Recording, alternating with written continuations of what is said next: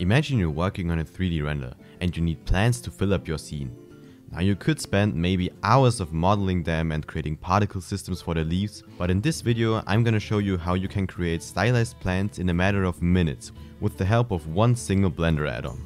The add-on is called Sapling Tree Gen, and you can simply install it under the add-ons tab in the Blender preferences. Now let's start with the first plant.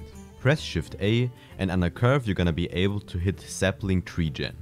Now we got a tree and can open the window on the bottom left. In the presets tab we're gonna select the quaking aspen. Now we go into branch splitting and we're gonna increase the trunk height.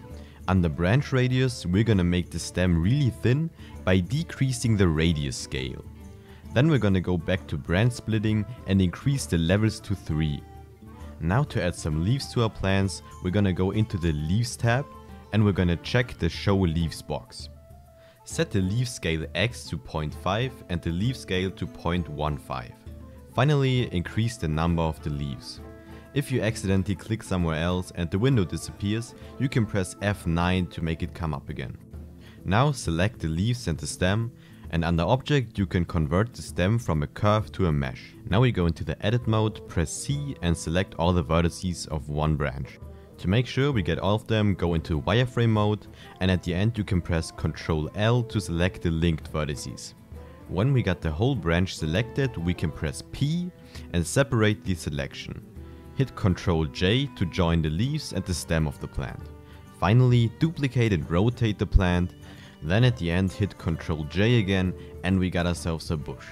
Now we're gonna create another bush but with a different workflow. Create another tree and set the radius scale to 0.2.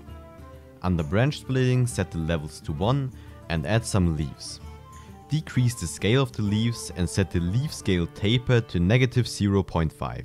Then just like before convert it to a mesh and join it. And in the edit mode you can use the proportional editing by pressing O to deform it. Now we're gonna create a different type of plant. Add another tree and select the small pine preset. Set the branch splitting levels to 1, add leaves and decrease the radius scale. This is already looking pretty nice, but it's too big so just make it smaller. And of course at the end it's the same process with converting and joining it. Finally we're gonna create some clover.